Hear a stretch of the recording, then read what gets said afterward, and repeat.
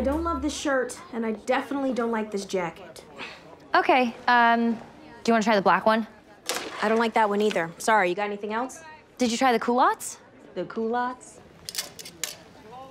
This material's rough, and why are the tags on these? Oh, you could just tuck that in. I already took the tag off. Listen, what about some of that stuff from Scarlet? I, I didn't bring any. Why not? You had so many choices. I know, it's just as an assistant, I don't really have access to all of that. I'm sorry. You're an assistant?